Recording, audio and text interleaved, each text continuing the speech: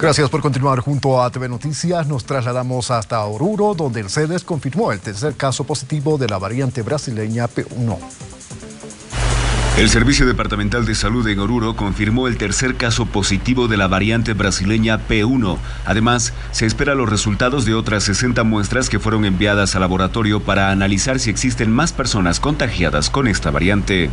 De acuerdo al, reporte que, que hemos recibido, eh, tenemos un caso más ya.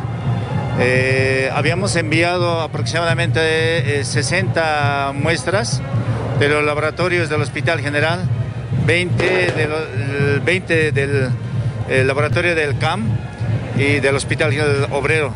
¿no? Y tenemos ya esa información, un nuevo caso más de la variante brasilera. De acuerdo al, comportamiento de la, pandemia, eh, Hemos ido eh, incrementando el número de casos eh, de esta semana que ha pasado, estamos en la semana 17, han ido incrementando el número de camas aproximadamente en el 60-70% de camas ocupadas por el momento.